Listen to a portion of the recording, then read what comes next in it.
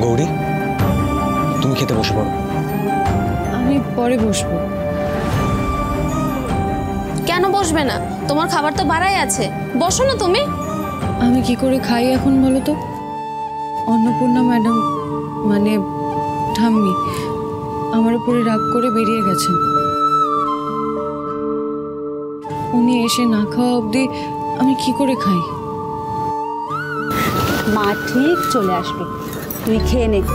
তোরা সবাই খাওয়া শুরু কর আমি মাকে ফোন করছি। ওই তো কর্তামা চলে এসেছে।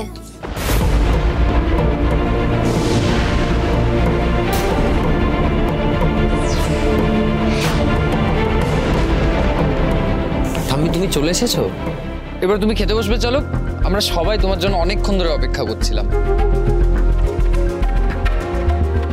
ঠাম্মি চলো না। আমার খুব খিদে পেয়েছে। দেখো না পেটের মধ্যে কেমন চুচরা ওই long jump high jump hurdle race এসব করে চলেছে। ঋতুরাজ সব বিষয় ইয়ার্কি ফাজলামি আমি ভালোবাসি না।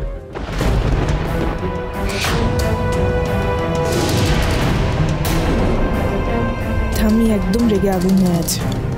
বউ ভাতের খাওয়া দাওয়া করা বের হয়ে যাবে। আচ্ছা তুমি আর রাগ করো না তুমি খেতে বসো। দেখো তোমার পছন্দের এঁচড়ের কোফতাও হয়েছে। খেতে বসো না ঠাম্মি। আমি খেতে বসবো না। বাড়ির নতুন বই তো সবার আগে খেতে বসে গেল। কেউ খেলেও কি না খেলেও তাহলে তার কিছু যায় আসে না। না না আমি এখন খাব নাই বলেছিলাম। হ্যাঁ মা। গৌরী খেতে বসতে চাইনি আমি ওকে জোর করে বসিয়েছি। তোমার ছেলের বইয়ের সঙ্গে তুমি সোহাগ করবে সেটা তো খুব ভালো কথা। কিন্তু তোমার বৌমার জন্য কেউ কষ্ট পাবে কি না পাবে সেটা তোমার না দেখলেও চলবে।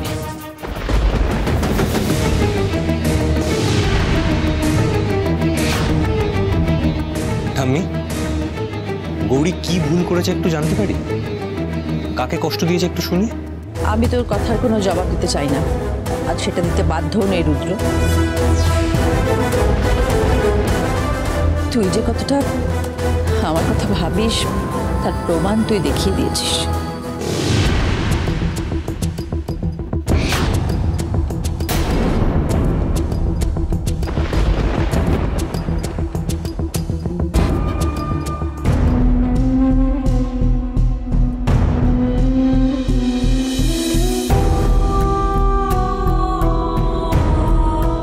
তুই মন খারাপ করিস না গৌরী।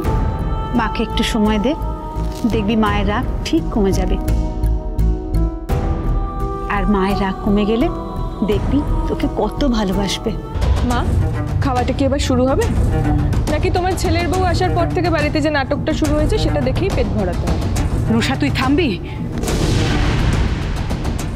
গরিব তুই বস হরগৌরী পাইস হোটেল মহাসপ্তাহ পাঁচ থেকে এগারোই অগস্ট রাত দশটায়।